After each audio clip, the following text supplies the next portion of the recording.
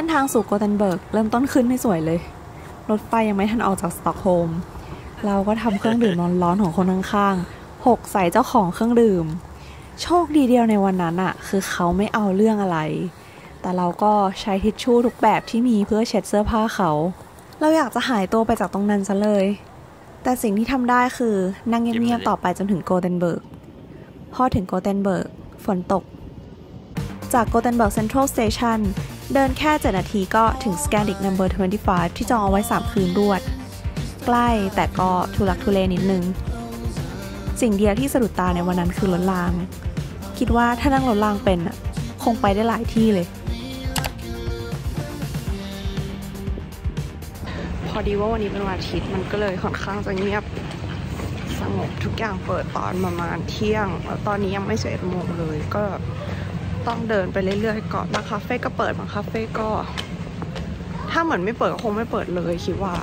ถึงฝนจะตกปรอยๆ แต่ตอนเช้าแล้วก็เดินผ่าน shopping street ไปนั่งเล่นกันในสวน สวนนี้มันเหมือนเป็นทางผ่านของคนน่ะมันเป็นสวนในทางกว้างเลียบคลองที่เดินลัดได้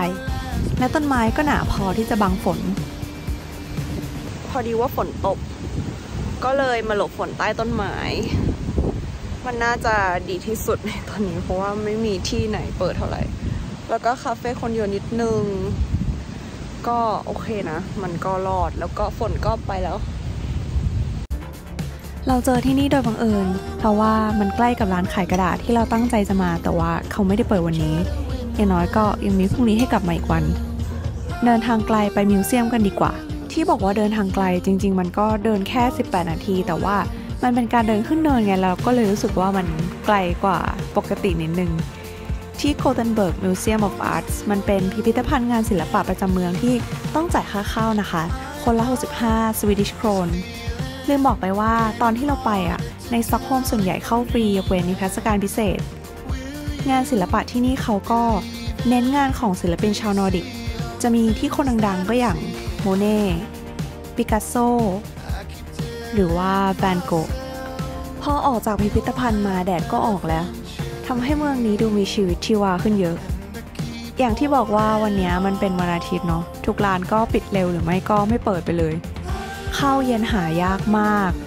เราเดินวนกันจนเจอร้านขายพาสต้าจานด่วนที่รสชาติพอกินได้ และตอนที่เราไปถึงเนี่ยเขาก็กำลังจะปิดแล้วด้วย วันนี้อาจจะเป็นวันเดียวที่โกเทนเบิร์กแดดออกในช่วงอาทิตย์นี้เพราะฉะนั้น เราก็เลยต้องออกมาไปนู่นไปนี่กันดีกว่าเพราะว่าเมื่อวานก็นอกจากฝนตกทุกอย่างก็ปิดหมด วันสุดท้ายในโกเทนเบิร์กแล้ว ร้านที่เราทั้งสองคนเล็งไว้ก็เปิดทำการ Room for Paper หรือ Room for Paper เป็นร้านขายกระดาษและของที่เกี่ยวกับกระดาษ เราได้ปึกกระดาษที่ผลิตในสวีเดนมา ยังไม่รู้ว่าจะเอาไปทำอะไร ส่วนอาร์มเดินเข้าออก Broadway and Sons ถึง2รอบเช้าและบ่าย